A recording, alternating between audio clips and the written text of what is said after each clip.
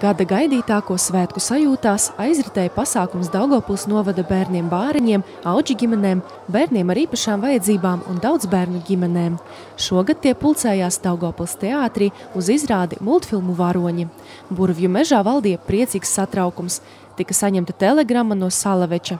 Jaungada vakarā visi tiek aicināti uz multivīzijas konkursu brīnumainajā labzemē. Meža aizstrādē pēc kārtas savus priekšnesumus rādīja visiem pazīstamie pasaku varoņi, dzietot zelta hītus un priecējot mazo skatītāju sirsniņas. Divas kaitīgas vārnas arī gribēja nokļūt uz svētkiem, bet viņu dziesmas bija tikpat niknas kā viņas pašas. Tad viņas pēc sava ieraduma sāka kaitēt citiem pasaku varoņiem, bet viss, kā jau pasakā, beidzās labi. Skanot bērnu aplausiem, dziesmas izpildīja Pēterburgas opereta mākslinieki. Svētki vairs nav aiz kalniem, tādēļ bērni tiem jo īpaši gatavojas. Kādu tu dzējoli salavecim taisies stāstīt? Kaķīts mans, kaķīts mans, melts ar baltām kepiņām. Sakām jau, sakām jau, šodien viņam ceļa nav. Ko salavecim sagatavojāt? Vēstuli.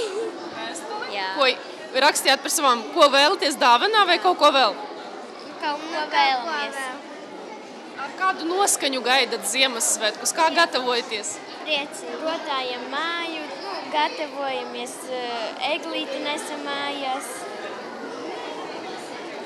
Kādu dziesmu jūs sagatavojaties dziedāt? Nodziediet! Viens, divi, trīs. Sniegs, sniegs, bet man augsti nav, augsti nav Zem jakas man ir silta sirds, silta sirds šonakt. Izmaiņas sociālajā jomā nākamgad pozitīvi ietekmēs auģu ģimenes.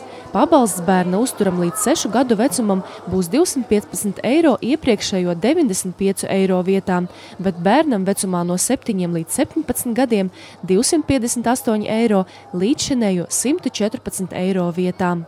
Atlīdzība auģu ģimenei par pienākumu pildīšanu turpmāk būs atkarīga no aprūpē esošo bērnu skaita. Tāpat palielināts novada pašvaldības izmaksājamais ikmēneša pabalsts uzturam auģi ģimenē par katru bērnu.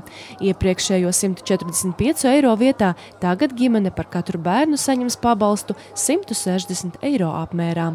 Lai visiem bērniem skanīgi un priecīgi svētki un sirdis tikpat siltuma piepildītas kā šajā dienā.